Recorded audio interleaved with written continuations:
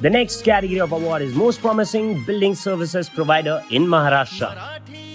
And the award goes to the director of AVG Turnkey Project Private Limited, Mr. Vishal Buwa. पूजकांचा Samman.